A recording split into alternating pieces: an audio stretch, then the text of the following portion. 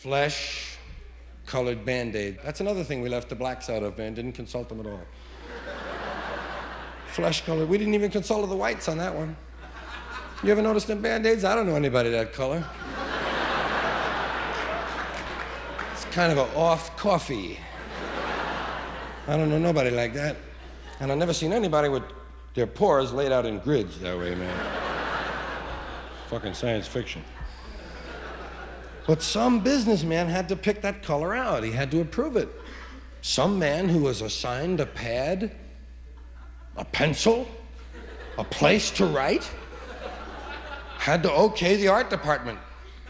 Art department brought up all the shit. Mm, let me see. Well, let me see. 55, 51, I don't know. Hmm, 51, oh, 53. That'll be flesh. 53. Wow. Didn't even bother me. Flesh colored crayons pissed me off. I was a war baby. 1937. I made me eight years of age when it was over. And flesh colored crayons didn't come in for a long time, man. Flesh colored crayons came in when I was 19. And I had been out of coloring for over a year by then. I had gone through rubbing orange and red together. Another color that bothers me is blue. Why is there no blue food? There's no blue food, man. Blueberries are purple. A lot of things blue on the vine, a little bit blue on the vine, bullshit, purple. There's no blue food, man. Someone has the blue food. We want the blue food.